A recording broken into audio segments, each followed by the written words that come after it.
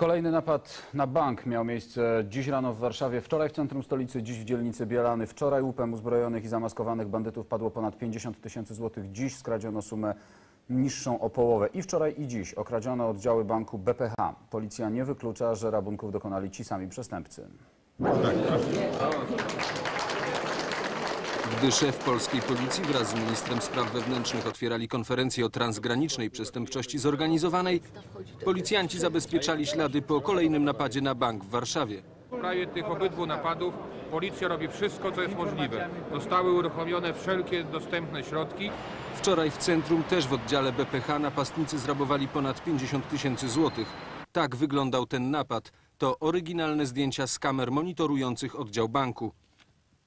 Dziś na Bielanach scenariusz był podobny. Dwóch zamaskowanych sprawców z czymś, co przypominało pistolet, wtargnęło do banku pół godziny po otwarciu. W środku nie było klientów, nie padły strzały. Steroryzowali kasjerki, żądając wydania pieniędzy. Te pieniądze zostały wydane.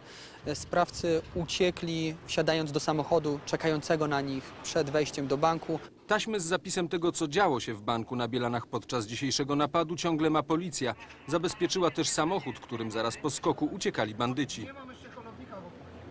Podczas dzisiejszego napadu w oddziale ochrony nie było. Pojawiła się na miejscu dwie minuty po naciśnięciu przez kasjerki takiego jak ten alarmowego przycisku.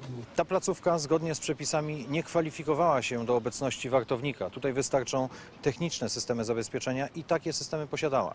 Dzisiejszy napad na bank był szóstym w tym roku w Warszawie. Jacek Gasiński, Wiadomości.